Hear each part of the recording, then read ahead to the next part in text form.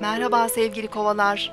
Eğer bugün maddi konular üzerine eğilecekseniz dürtülerinizi engellemek zorunda kalacaksınız. Maddi tutarsızlıklar, sükunet içerisinde mücadele ederseniz onları hızla ortadan kaldırabilirsiniz.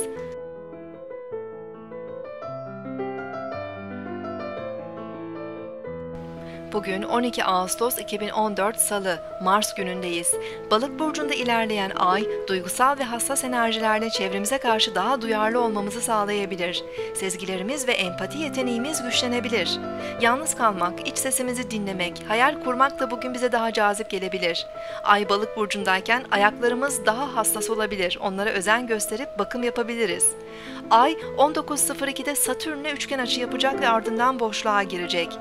Bugün Venüs Aslan Burcu'na geçiyor. Venüs 6 Eylül'e kadar Aslan Burcu'nda ilerleyecek.